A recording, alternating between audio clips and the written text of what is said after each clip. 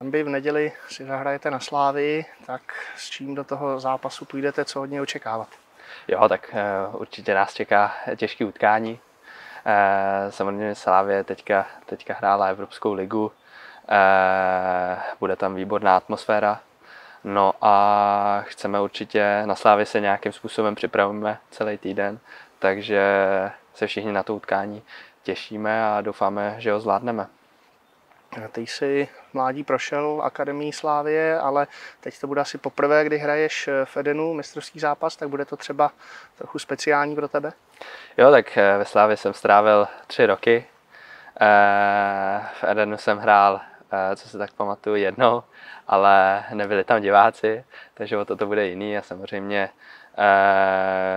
znám tam i nějaký hráči, ať už je to z 21 nebo právě Eh, například Tomáše Vlčka, se kterým jsem, je to stejný ročník, takže se kterým jsem v podstatě hrával eh, ve Slávě, takže v tomhle eh, to bude hezký srovnání, ale, ale soustředíme se celkově na ten zápas a chceme ho zvládnout. No. Trenére, v neděli nás čeká těžký souboj na Pražské Slávii.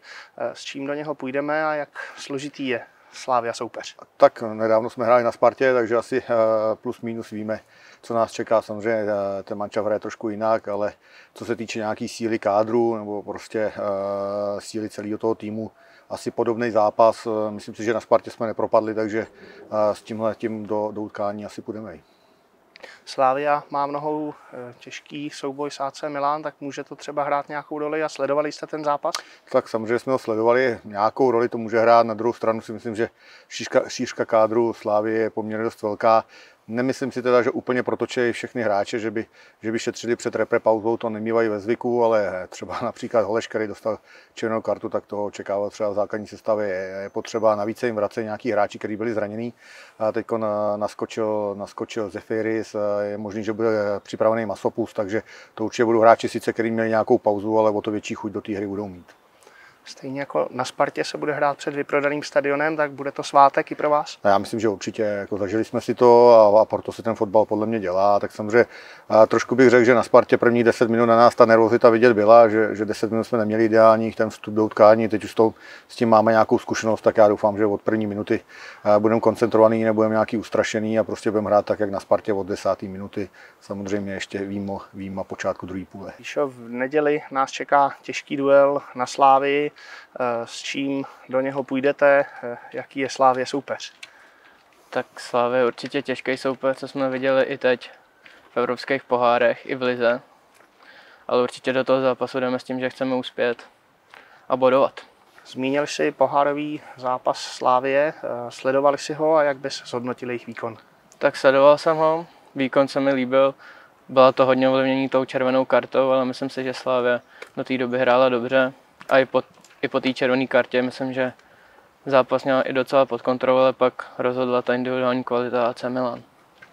A ty v Edenu nastoupíš v našem dresu už po druhé, jestli se nepletu. Bude to pro tebe pořád speciální zápas? Tak určitě je to pro mě pořád speciální zápas. Ale myslím si, že už nebudu tolik nervózní, jako jsem byl poprvé a už jsem o něco zkušenější, než jsem byl před rokem hrát se bude před vyprodaným stadionem, tak je to pro vás v něčem jiném, třeba komunikace na hřišti je složitější?